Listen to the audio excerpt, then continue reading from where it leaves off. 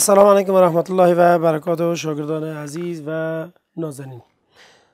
باز هم من حبیب الله میخیل با درس دوازدهم از کتاب فیزیک صنف هفتم در خدمتتان قرار دارم.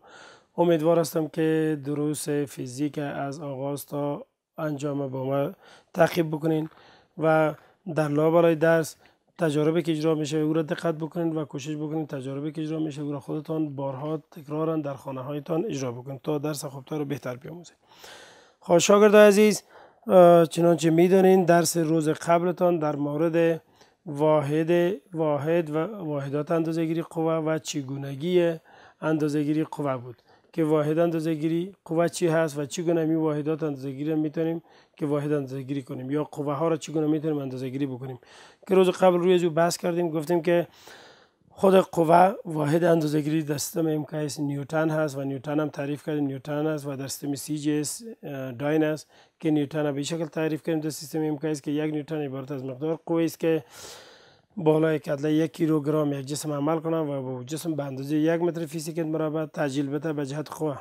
و داینم به شکل تعریف کردیم گفتیم که یک داین قوه مقدار قوه است که بالای کتله یک گرام کتله یک جسم عمل بکنه و به او به اندازه یک سانتی متر فیزیک مربع به جهت قوه تجلیل بده.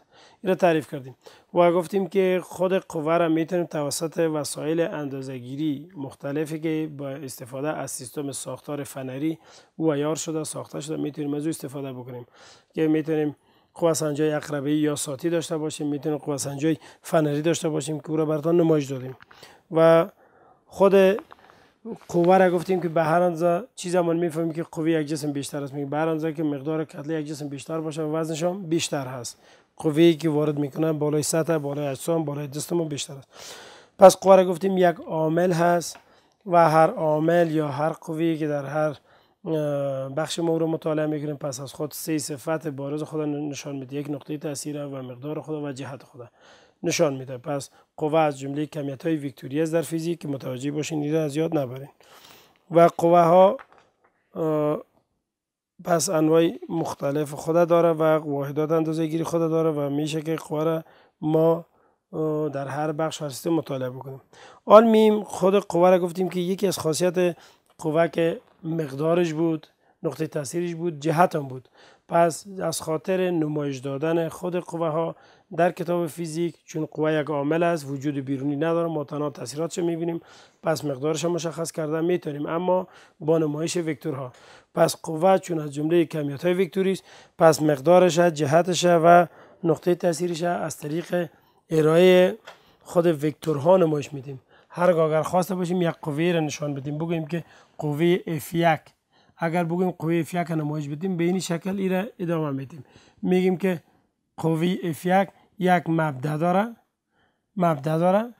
پس طول طول وکتور مقدارش نشان میده مقدار قوه نشان میده.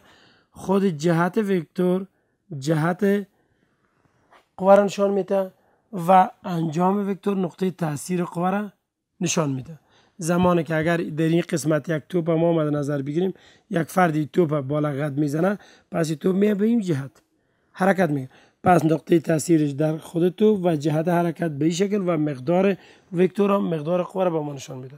پس از این می‌فهمیم که قوه عبارت از کمیت های وکتوری هست و دارای جهت هست دارای مقدار هست دارای نقطه تاثیر هست و مبدا هست.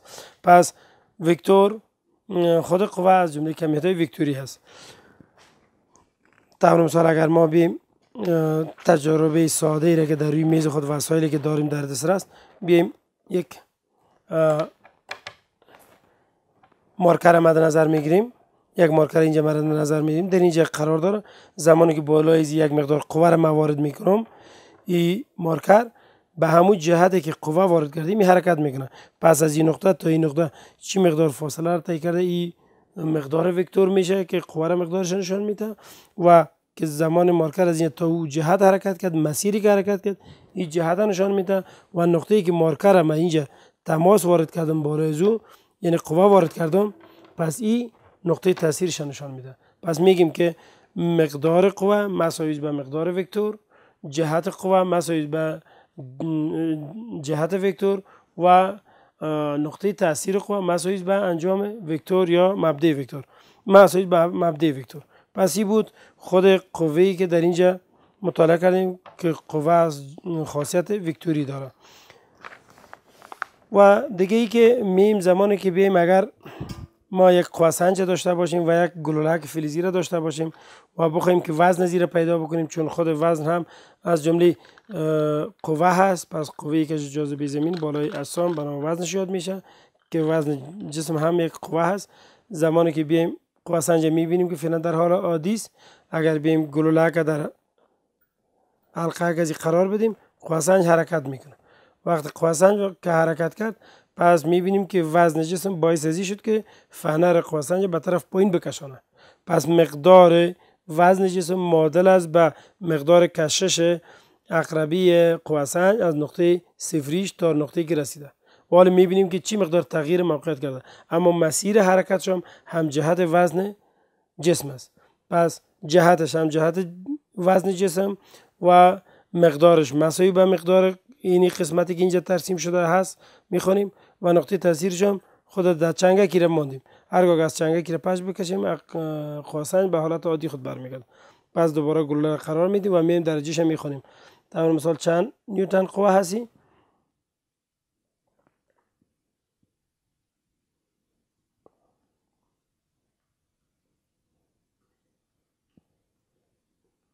در اینجا قوه سنج به ما نشان میده بیست. بیست. پنج پنج صفر اشاره بیست یک.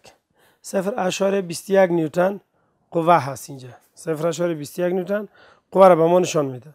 پس قوه سنج در اینجا به ما صفر اشاره بیست یک نیوتن قوه را نشان میده.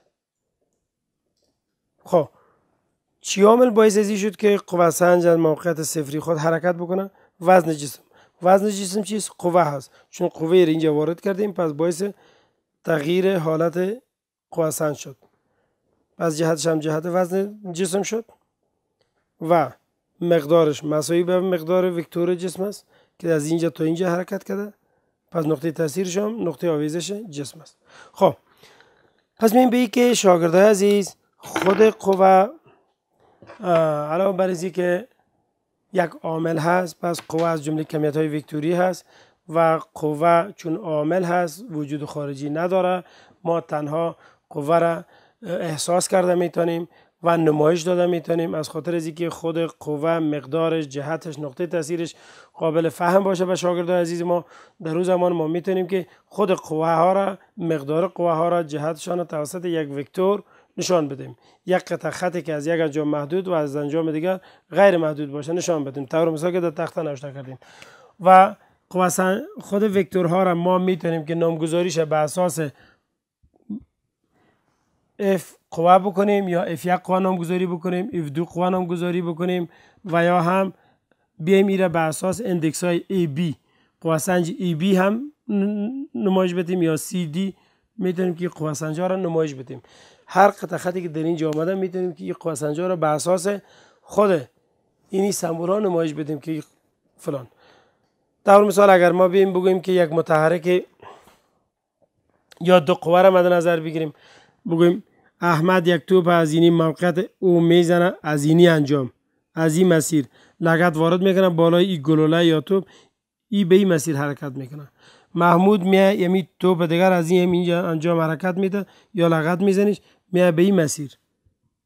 پس در اینجا می‌بینیم که هر قوه ای که از هر مسیری وارد میشه پس تغییر موقعیت توپ یا گلوله را به اون مسیری که هست نشان میده. پس قوه عبارت از کمیت های وکتوری هست. مقدار قوه مساوی به مقدار وکتور و جهت قوه مساوی به جهت وکتور و مبدع وکتور مساوی به نقطه تاثیر قوه.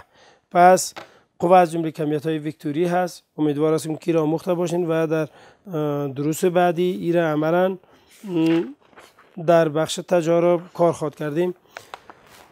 و این بود موضوعی که در بخش قوه کار کردیم. حال شاگرده از شما بین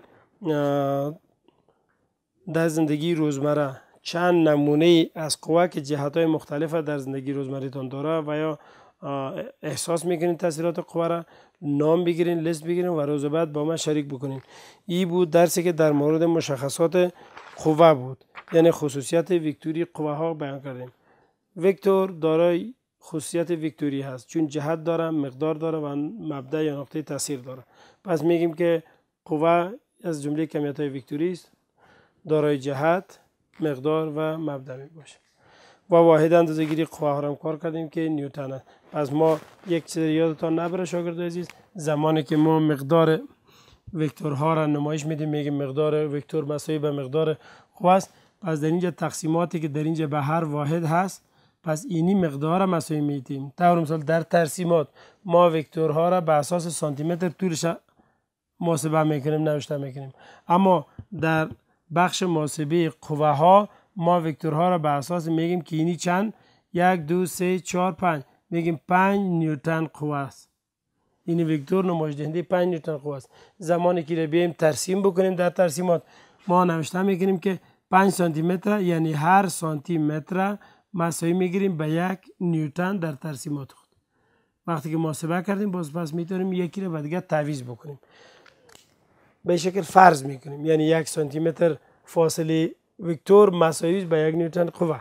به شکل مد نظر می‌گیریم. و بعد که محاسبات خواهر انجام دادیم باز مقدار قوه را نوشته کرده می‌تونیم. این بود درس دوازدهم فیزیک صنف هفتم. امیدوار هستم که از این درس چیزی مختار باشین شاگرد عزیز.